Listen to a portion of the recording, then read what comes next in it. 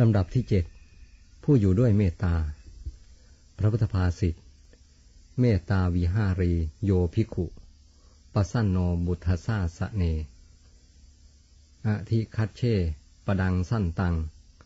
สร้างฆ่าโรปะสมังสุขังปยานใหญ่ ปฏิสั้นท่าระวุตยสสะอาจาระกุสกุสโลสิยา ตโตปาโมด ชพะหุโล ดุขัดสั้นตังกริสติสสิ แปลความว่าหนึ่งภิกษุใดอยู่ด้วยเมตตา เลื่อมสายยิ่งในคำสอนของพระพุทธเจ้า ภิกษุนั้นย่อมบรรลุย่อมบรรลุสันตบท อันเข้าไปสงบประงับสังขารเป็นสุข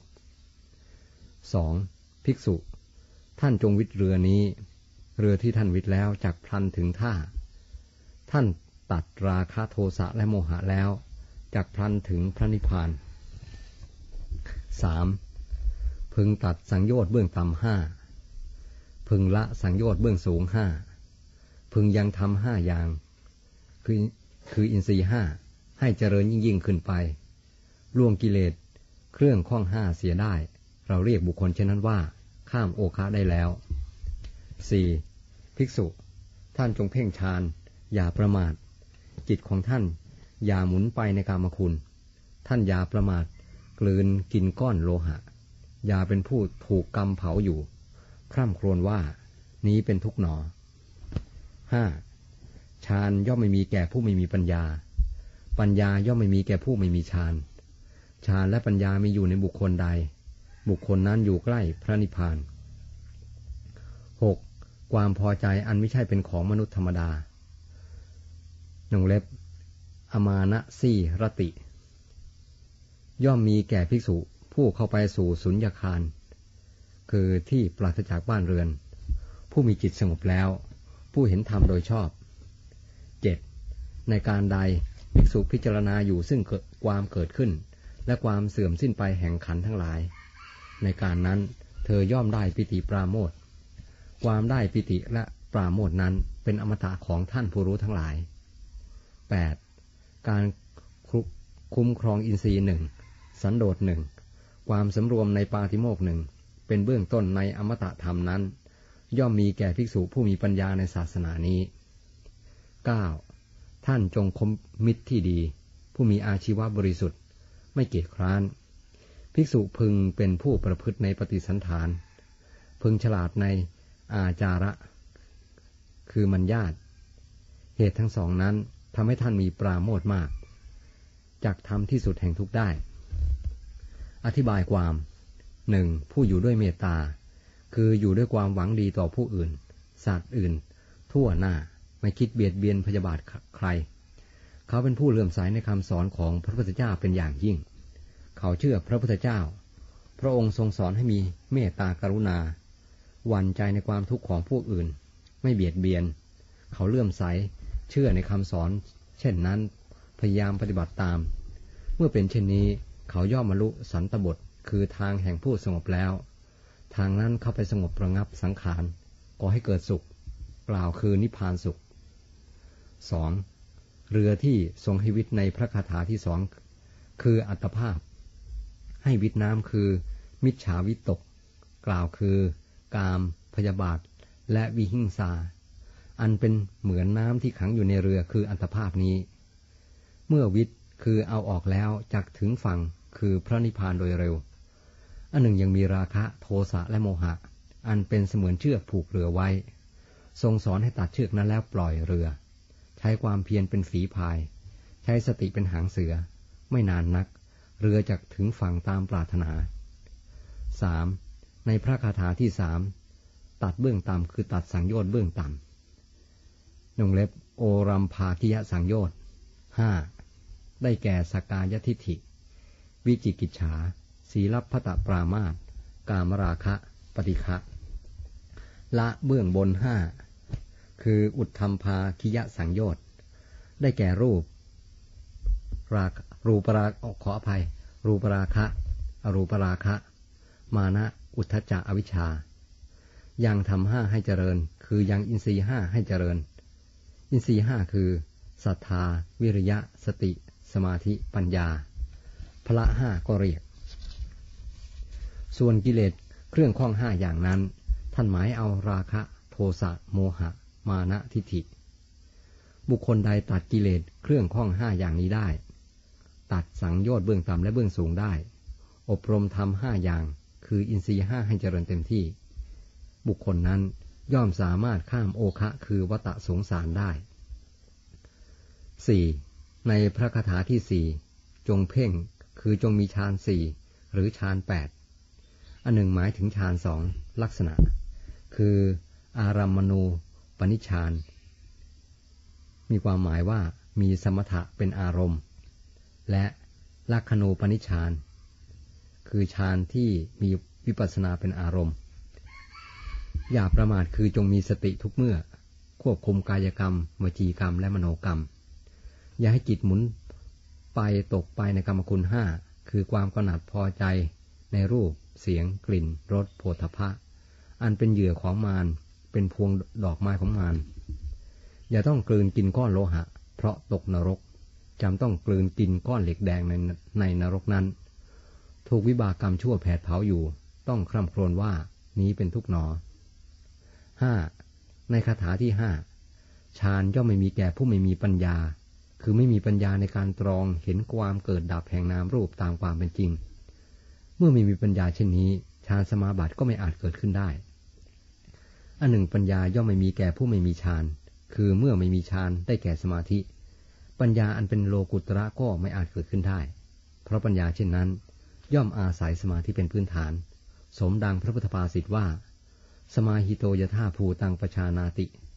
เมื่อจิตตั้งมั่นแล้ว ย่อมรู้ความเป็นจริง ยังมีอีก พระองค์ตรัสว่าปัญญาที่สมาธิอบรมแล้วย่อมมีผลมาก มีอานิสงส์มาก สมาธิปริภาวิตาปัญญามหัพลาโหติมหานิสร้างซาบุคคลใดมีฌานและปัญญาอยู่พร้อมในตน รวมความว่ามีทั้งสมาธิและปัญญา บุคคลนั้นดำรงตนอยู่ใกล้นิพพาน ในพระคาถาที่หกอมานุนุสีรติ แปลว่า ความยินดีหรือความพอใจ อันไม่ใช่เป็นวิสัยแห่งมนุษย์ธรรมดา หมายความว่า ความพอใจอันปฏิสังยุตด้วยฌานวิปัสนามรรคผลนิพพาน ความพอใจของมนุษย์ธรรมดามักอิงอาศัยกาม อิงอาศัยความโลภส่วนความพอใจอันปฏิสังยุตด้วยฌานวิปัสนามรรคและผลนั้น ย่อมมีแก่ท่านเข้าไปสู่ที่สงัด คือสุญญาคาร มีจิตสงบและเห็นธรรมโดยชอบเท่านั้น 7. ในพระคาถาที่เจ็ดข้อว่าพิจารณาอยู่ซึ่งความเกิดขึ้นและความเสื่อมสิ้นไปแห่งขันทั้งหลายนั้น อธิบายว่า ซึ่งความเกิดขึ้นแห่งขันโดยลักษณะยี่สิบห้าและความเสื่อมแห่งขันห้าโดยลักษณะยี่สิบห้าเหมือนกัน เชิงอัดคือฟุตโนตแห่ง อัตถกถาธรรมบท ฉบับของกองตำรามหามกุฏราชวิทยาลัย อธิบายลักษณะ 25 แห่งการเกิดและการดับของนามรูปไว้ว่า รูปเกิดขึ้น เพราะอาวิชชาหนึ่งตัณหาหนึ่งกรรมหนึ่งอาหารหนึ่งความเกิดขึ้นของรูปอย่างเดียว ไม่อาศัยเหตุปัจจัยหนึ่ง ในเวทนาสัญญาสังขารและวิญญาณก็เหมือนกัน เปลี่ยนแต่ประการที่ห้าคือความเกิดขึ้นของเวทนา หรือสัญญาหรือสังขาร หรือวิญญาณอย่างเดียว ไม่อาศัยเหตุปัจจัยห้าคูณห้าเท่ากับยี่สิบห้าส่วนว่าโดยลักษณะความเสื่อมของรูปเป็นต้น มีนัยะตรงกันข้าม คือรูปเสื่อมเพราะไม่มีอวิชชา ไม่มีตัณหา ไม่มีกรรม ไม่มีอาหาร และรูปเสื่อมไปโดยไม่อาศัยเหตุปัจจัย เมื่อพิจารณาความเกิดขึ้นและความเสื่อมสิ้นไปแห่งขันทั้งหลายอยู่ ย่อมได้ปิติปราโมทในธรรม อธิบายตามอัตถกถาน นัยยะต่อไปว่า เมื่อนามรูปพร้อมทั้งปัจจัยปรากฏตั้งขึ้น ปีติและปราโมทที่เกิดขึ้นแล้วนั้น ชื่อว่าเป็นอมตะของท่านผู้รู้ทั้งหลาย เพราะปีติปราโมทนั้นเป็นทำให้สัตว์ถึงอมตะมหานิพพาน รวมความว่า อาศัยปีติปราโมทในธรรมเป็นบาทแล้วคมปีติปราโมทนั้นเสีย ยกจิตขึ้นสู่วิปัสนาชำรกกิเลสด้วยวิปัสนาปัญญา จนกระทั่งดำรงอยู่ในอรหัตภูมิ 8. ในพระคาถาที่ 8 ถามว่า อะไรเป็นเบื้องต้นแห่งอมตะธรรม ตอบว่าทำสามอย่างคือการคุ้มครองอินทรีย์หนึ่งสันโดษหนึ่งการสำรวมในปาติโมกหนึ่งทำทั้งสามนี้ได้อธิบายมามากแล้วในเรื่องอื่น ๆ แต่ต้น 9. ในพระคาถาที่ 9 ทรงเตือนให้คบมิตรที่ดี คือมิตรที่มีศีลธรรม มีอาชีวะหรืออาชีพบริสุทธิ์ ไม่เกียจคร้าน ทรงสอนให้เคารพในปฏิสันฐานสองคือทั้งอามิตรปฏิสันฐาน และธรรมปฏิสันฐาน กล่าวคือต้อนรับด้วยอามิตรยงเล็บปัจจัยสี่ตามควร และต้อนรับด้วยธรรมกถา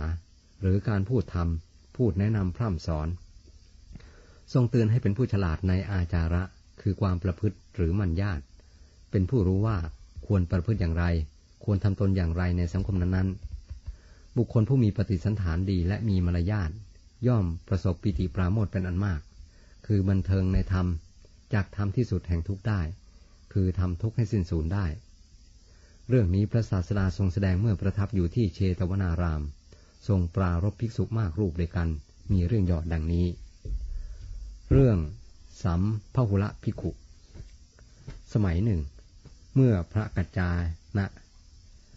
หรือจะเรียกว่าพระมหากัจจายนะบ้าง พักอยู่ที่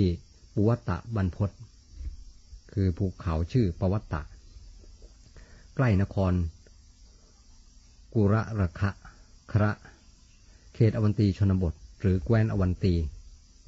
อวันตีหรือมาลวะตั้งอยู่เหนือภูเขา วินไทย ทิศอีสานแห่งแคว้นอสกะ นครหลวงของอวันตีชื่ออุเชนี ปัจจุบันเรียกอุเชน รั้งนั้น อุบาสกคนหนึ่งชื่อ โสนกุติกันกันนะเลื่อมใสในธรรมกถาของท่าน ปรารถนาจะบวชในสำนักของพระกัจจานะนั้น อ้อนวอนขอบวชพระเถระห้ามถึงสองครั้งว่า โสนะ พรหมจรรย์นี้มีพัดหนเดียว คือบริโภคอาหารวันละครั้ง นอนผู้เดียวตลอดชีวิต เป็นสิ่งที่บุคคลทำได้โดยยาก โสนากุติกันนะ แม้ฟังพระเถระพรรณนาถึงความลำบากแห่งบรรพชาอยู่ก็คลายหาคลายอุตสาหะไม่ แต่กลับมีอุตสาหะมากขึ้น มีอุตสาหะอย่างแรงกล้าในการบรรพชา จึงอ้อนวอนพระเถระอีกเป็นครั้งที่สามและได้บรรพชาในครั้งนั้น คือได้บรรพชาเป็นสามเณรอีกสามปีต่อมาจึงได้อุปสมบท คืออุปสมบทเป็นภิกษุ ทั้งนี้เพราะในทักษิณาปถะชนบทมีภิกษุน้อย ทักษิณาปถะชนบท อยู่ทางแคว้นทางใต้ของอินเดียหรืออินเดียใต้ ต้องคอยภิกษุให้ครบจำนวนจึงอุปสมบทได้ เมื่อพระโสนอุปสมบทแล้ว ใครจะไปเฝ้าพระศาสดา จึงอำลาพระวชายะนำข่าวที่พระวชายะให้ แล้วไปสู่เชตวันโดยลำดับ ถวายบังคมพระศาสดาได้รับการปฏิสันฐานจากพระองค์ด้วยดี พระพุทธองค์ทรงอนุญาตให้อยู่ในพระคันธกุฎีที่ประทับของพระองค์เอง คือพักอยู่ในที่พักแห่งเดียวกัน ในระยะต้นๆแห่งราตรี ท่านพระโสนะพักอยู่ ภายนอกพระกันทกุดีคือพักอยู่ในที่แจ้งจงเล็บอโชกาศแล้วเข้าไปพักในพระคันธกุดีส่วนที่จัดไว้เพื่อตน เวลาใกล้รุ่ง พระศาสดาทรงขอร้องให้พระโสนะสวดพระสูตรบางสูตร พระโสนะได้สวดพระสูตรหมดด้วยการสิบหกสูตร โดยทำนองสรพัญญะวงเล็บเปิด คือคือสวดออกเสียงเป็นทำนองมีจังหวะพอควรงเล็บปิด อันจัดเป็นอัฏฐกะวัคคิกะ มีคำอธิบายว่า พระ พระสูตรสิบหกสูตรมีกรรมสูตรเป็นต้นกรรมสูตรหมายถึงพระสูตรที่พรรณนาถึงโทษของกะของกาม พระสูตรเหล่านี้ท่านรจนาไว้ในคุตกะนิกายสุตตนิบาตเล่มยี่สิบห้าหน้าสี่ร้อยแปดสิบสี่ถึงห้าร้อยยี่สิบสามผู้เขียน คืออยู่ในอัฏฐกวักแห่งคุณกะนิกายสุตตนิบาต พระศาสดาทรงสดับและทรงประทานสาธุการแก่ท่าน สาธุสาธุ พวกภูมิเทพ นาคครุฑได้ฟังสาธุการของพระศาสดาแล้วก็เปล่งเสียงสาธุการด้วย เสียงนั้นติดต่อเป็นอันเดียวกันไปจนถึงพรหมโลก ขณะนั้นเทพธิดาผู้สิงสถิตอยู่ในเรือนของมหาอุบาสิกา ผู้เป็นมารดาของพระเถระ ในกุระคระนครอันไกลจากวัดเชตวันถึงหนึ่งร้อยี่สิบโยชน์ ก็ให้สาธุการด้วยเสียงอันดังเหมือนกัน มหาอุบาสิกาจึงถามว่า นั่นใครให้สาธุการ เราเองน้องหญิงเทพธิดาตอบ ท่านเป็นใคร เราคือเทพธิดาผู้สถิตอยู่ในเรือนนี้ เมื่อก่อนท่านไม่เคยให้สาธุการเลย วันนี้ทำไมจึงให้ เราไม่ได้ให้สาธุการแก่ท่าน แล้วท่านให้สาธุการแก่ใคร เราให้แก่บุตรของท่าน ชื่อพระโสนกุติกันนะ บุตรของเราทำอะไร เทพธิดาเล่าเรื่องทั้งปวงให้อุบาสิกาฟัง นางถามย้ำอีกว่า บุตรของเราแสดงธรรมแก่พระศาสดา หรือพระศาสดาทรงแสดงธรรมแก่บุตรของเรา เมื่อเทพธิดายืนยันอีกว่า บุตรของท่านแสดงธรรมแด่พระศาสดา ดังนี้ปิติห้าประการเกิดขึ้นแก่อุบาสิกาแผ่ซ่านไปทั่วสรีระ นางคิดว่า เมื่อบุตรของเราแสดงธรรมแก่พระศาสดาได้ ธอก็จักแสดงธรรมแก่เราได้เหมือนกัน เมื่อใดบุตรของเรามาถึง เราจักฟังธรรมแห่งบุตรของเรา พระโสนะทูลขอพรห้าประการ ฝ่ายพระโสนเถระ เมื่อพระศาสดาทรงประทานสาธุการแล้วคิดว่า เวลานี้สมควรที่จะกราบทูลข่าวที่พระวชายะให้มา ดังนี้แล้วทูลขอพรห้าประการ พรห้าประการนั้นคือหนึ่ง ออนุญาตอุปสมบทกุลบุตร ด้วยจำนวนสงเพียงห้ารูป เพราะทักษิณาปะทะชนบทหาพิสุยากสองขอให้ใช้รองเท้าหลายชั้นได้ เพราะทักษิณาบท พื้นครุขระสามขอให้อาบน้ำได้หนึ่งนิด เพราะหาน้ำได้ง่ายสี่ขอให้ใช้เครื่องปูลาดที่ทำด้วยหนังได้ เพราะหนังหาง่ายห้า มีมนุษย์สั่งถวายจีวรแก่ภิกษุที่อยู่นอกสีมา ภิกษุผู้รับสั่ง จึงมาบอกให้เธอรับ แต่เธอรังเกียจไม่ยอมรับด้วยกลัวเป็นนิสกี ขออย่าให้เป็นนิสกี อยู่ในมหาวัคพระไตรปิฎกเล่มห้าหน้าสามสิบสี่ผู้เขียน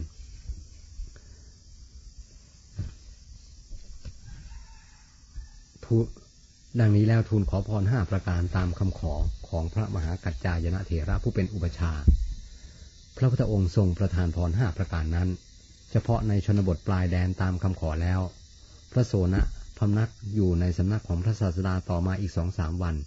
แล้วทูลลากลับไปยังปวัตตะบรรพศสำนักของพระอุปชา วันรุ่งขึ้น พระเถระพาพระโสนะไปบินทบาทไปถึงประตูเรือนของอุบาสิกาผู้เป็นมารดาของท่าน อุบาสิกาเห็นบุตรแล้วดีใจ ไหว้แล้วอังคาดด้วยเคารพ ถามว่าพ่อคุณ โยมทราบว่าเมื่อไปเมืองสาวัตถี คุณพักในพระคันธกุฎีเดียวกับพระศาสดา และแสดงธรรมแก่พระศาสดาจริงหรือ ใครบอกเรื่องนี้แก่โยม เทพธิดาบอก พอคุณวาสิกากล่าวต่อไป เมื่อคุณแสดงธรรมต่อพระพักของพระศาสดาได้ คุณก็จะต้องแสดงธรรมให้โยมฟังได้เหมือนกันแหล่แล้วอุบาสิกาก็กำหนดวันนิมนต์พระโสนะแสดงธรรม พระโสนะก็รับนิมนต์ของโยม ด้วยความยินดี อุบาสิกาคิดว่า เราจะถวายทานแก่ภิกษุสงฆ์ทำการบูชาแล้วจักฟังธรรมกถาแห่งบุตรของเรา ดังนี้แล้วพาบริวารทั้งสิ้นไป เวลาที่อุบาสิกากำลังฟังธรรมอยู่นั้น พวกโจรคณะหนึ่งบุกเข้าบ้านของนาง เพราะสืบรู้มาว่า อุบาสิกาและบริวารไปฟังธรรม พวกโจรได้ตกลงใจกันให้หัวหน้าโจรไปคุมตัวอุบาสิกาอยู่ห่างๆในที่ฟังธรรม คาดว่า ถ้าอุบาสิการู้เรื่องโจรเข้าบ้านแล้ว รีบกลับมาจะฆ่าอุบาสิกานั้นเสีย พวกโจรจุดไฟให้สว่างภายในเรือน แล้วเปิดประตูห้องที่เก็บกหาปณะนางทาสีรีบไปบอกอุบาสิกาว่า พวกโจรเข้าบ้าน งัดประตูเก็บกหาปณะได้แล้ว มหาอุบาสิกากล่าวตอบว่า พวกโจรจงเก็บเอากหาปณะไปทั้งหมดเถิด เราจะฟังธรรมแห่งบุตรของเรา เจ้าอย่าทำอันตรายแห่งการฟังธรรมของเรา เจ้าจงกลับไปเรือนเสถิด เมื่อพวกโจรเปิดห้องเงิน นางทาสีก็ไปบอกอีก คงได้รับคำตอบอย่างเดิม เมื่อเจอโจรเปิดห้องทองก็เหมือนกัน นางทาสีก็ไปบอกอุบาสิกา อุบาสิกาดูเอาว่า นางตัวดีมาหาเราบ่อยๆ นางอย่ามาอีก โจรต้องการสิ่งใดก็จงขนเอาไปเถิด ตัวตัวนางมาหาเราอีก เราจะลงโทษเจ้า นายโจร ยืนอยู่ไม่ไกลอุบาสิกานัก ได้ยินคำนั้นแล้วคิดว่า ถ้าเรานำของหญิงเห็นป่านนี้ไป สายฟ้า พึงตกฟาดกระหม่อมของเรา ดังนี้แล้วได้สั่งให้พวกโจรเอากระหาปณะเงินและทองที่ออกมาเก็บไว้ที่เดิม ท่านว่า ธรรมดาผู้ประพฤติธรรม ย่อมได้รับการคุ้มครองจากธรรม สมจริงดังที่พระศาสดาตรัสว่า ธรรมแลย่อมรักษาผู้ประพฤติธรรม ธรรมที่บุคคลประพฤติแล้วย่อมนำความสุขมาให้ นี่เป็นอนิสงส์ในธรรมที่บุคคลประพฤติดีแล้ว ผู้มีปกติประพฤติธรรม ย่อมไม่เปสู่ทุกติ พวกโจรพากันไปยืนฟังธรรมอยู่ด้วย ฝ่ายพระโสนะแสดงธรรมคืนยังรุ่ง เมื่ออุบาสิกาถามว่านี่อะไรกัน จึงเล่าความทั้งปวงให้ทราบ อุบาสิกาอดโทษให้ พวกโจรบริวารทั้งหลายได้ทำอย่างเดียวกันกับนายโจร พวกโจรกล่าวว่า ถ้าท่านอดโทษแก่พวกข้าพเจ้า ก็ขอให้อนุญาต ให้พวกข้าพเจ้าได้บวชในสำนักแห่งบุตรของท่านเถิด มหาอุบาสิกาจึงกล่าวว่า พ่อคุณ พวกโจรเหล่านี้เลื่อมใสในคุณของโยมและธรรมกถาของคุณ ขอบรรพชาของคุณจง ให้บรรพชาแก่พวกเขาเถิด พระโสนะให้โจรพวกนั้นบวชแล้วให้กรรมฐานต่างๆ เป็นพวกพวกไปตามอุปนิสัย ภิกษุเหล่านั้น เรียนกรรมฐานแล้วไปสู่ภูเขาลูกหนึ่ง นั่งทำสมณธรรมอยู่ใต้ร่มไม้ พระศาสดาประทับนั่งอยู่ในวัดเชตวันนั้นเอง ซึ่งไกลถึงร้อยี่สิบโยชน์ทรงกำหนดพระธรรมเทศนาให้เหมาะสม แก่อุปนิสัยแห่งเธอเหล่านั้นแล้ว ทรงเปล่งพระสมีไปประหนึ่งประทับนั่งอยู่เฉพาะหน้า ตรัสพระคาถาว่า เมตตาวิหาเรโยภิกขุ เป็นอาทิ มีนัยยะดังพรรณนามาแล้วแต่ต้น เมื่อจบเทศนาภิกษุทั้งหมดนั้น